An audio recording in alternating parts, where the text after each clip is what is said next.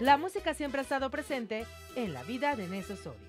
Desde los seis años, aprendió a cantar rancheras al lado de su abuelo, quien le enseñó el amor por este género musical.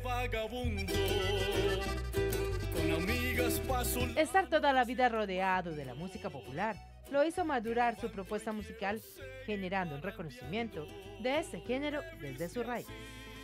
Crear música popular sin salirnos del contexto, es decir, no hacerlo lo que siempre se viene haciendo, sino marcar la diferencia sin salirnos del género popular. Su más reciente lanzamiento es la canción Soy así, la cual narra una historia de uno de sus amigos, pieza musical con la que ya empezó a recorrer el mundo para dar a conocer su propuesta artística.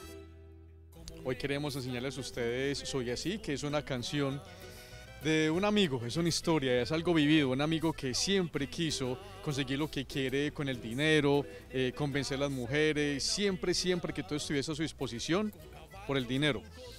Ahorita queremos entrar con esta nueva propuesta, queremos llegar a todas esas personas eh, que gustan tanto de esta música. Con emoción, Nes invita a todos a seguirlo en sus redes sociales y escuchar su música en donde cada una de sus canciones cuentan historia.